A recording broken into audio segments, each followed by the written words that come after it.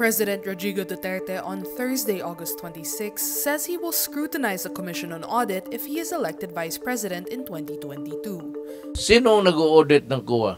Somebody should do. I will, I will, I will do that if I become uh, Vice President. The COA auditors come up with annual audit reports of the Commission, which can be found on its website along with the audit reports of all other government agencies. Some agencies under the Duterte administration came under fire for deficiencies in their use of pandemic funds. In the same address, Duterte also slams lawmakers scrutinizing pandemic fund spending. Wag ho kayong maniwala dyan sa mga mga investigasyon, investigasyon. Kita naman ninyo walang nangyayari. Puro lang, uh, we will investigate, investigate. He claims lawmakers are just doing it for publicity. Pakinggan mo yung mga ibang senador dyan, meron talaga masabi. After an investigation, one or two or three days in your hearing, wala na. Walang rekomendasyon, walang dinimanda, walang napriso. Puro postura lang. Several senators on Friday, August 27, advised Duterte to brush up on the principles of separation of powers and checks and balances. Senator Ping Lacson, who is planning to run for president in the 2022 elections, advises Duterte to read about the mandate given to all three branches of government. Senate President Tito Sotto reminds Duterte several of his appointees are now facing cases because Senate hearings expose their alleged corrupt practices. Opposition Senator Kiko Pangilinan, for his part, says the Senate won't have anything to investigate if there were no complaints about the health department. Former Chief of the Department of Budget and Management's Procurement Service, Lloyd Christopher Lao, concedes it is possible his negligence led to the purchase of overpriced face masks and face shields in 2020. Lao admits his possible lapses Friday, August 27, during Senate committee hearing on alleged anomalies in the pandemic fund spending of PSDBM and the Health Department.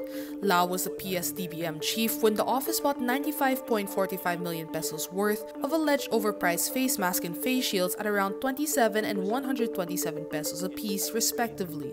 Senator Kiko Pangilinan asked him to justify these purchases when the Philippine Red Cross was able to purchase masks at 5 pesos each and shields at 15 pesos per piece. Lao maintains the face mask and shields were the cheapest the PSDBM could find at the time, but later admits the possibility of his negligence in canvassing for other options. And I Okay. think um, when you say that there might be negligence or nag, we were not able to exhaustively look for um, the cheapest supplier, there might be a possibility given the scenario that we really lack time, that we lack the resources, we lack connection during the time. That might be a possibility. State auditors found that by year end of 2020, there were 484,000 face shields sitting in PSDBM depots. Need more context, clarity, and perspective? Get the full picture with Rappler Plus. With exclusive content and events, you'll get an opportunity to discuss issues with reporters, experts, and featured guests while helping Rappler continue its fearless journalism. Join now.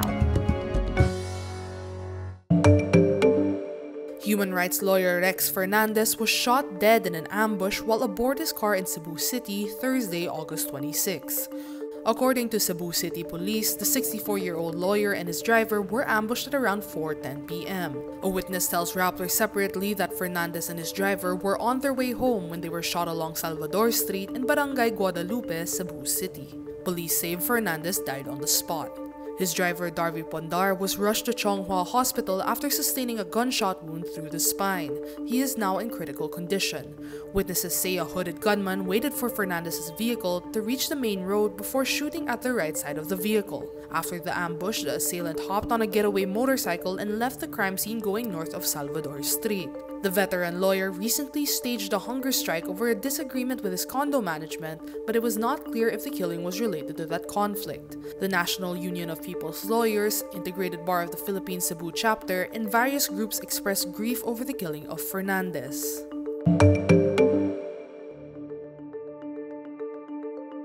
Islamic State strikes the crowded gates of Kabul airport in Afghanistan in a suicide bomb attack Thursday, August 26. The attack kills 60 civilians and at least 13 US troops, disrupting the airlift of tens of thousands of Afghans desperate to flee. Videos shot by Afghan journalists showed dozens of bodies strewn around a canal on the edge of the airport. Islamic State says one of its suicide bombers targeted translators and collaborators with the American army. The 13 American casualties were believed to be the most US troops killed in Afghanistan in a single incident in 10 years. President Joe Biden earlier said the United States had long ago achieved its original rationale for invading the country in 2001 to root out Al Qaeda militant and prevent a repeat of the September 11 attacks in the United States.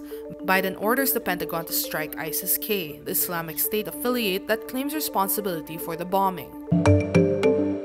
After four years, K-pop group Girls' Generation is coming together again in an episode of the South Korean variety show You Quiz on the Block. The episode will air on a South Korean TV network on September 1. A teaser for the episode shows all eight members Taeyeon, Sunny, Tiffany, Hyoyeon, Yuri, Sooyoung, Yoona, and Seohyun. It's the first time the girls are formally coming together as a group since 2017 when they released their album Holiday Night. In the same year, members Seohyun, Tiffany, and Sooyoung announced they would be leaving the group's agency, SM Entertainment, to pursue solo projects.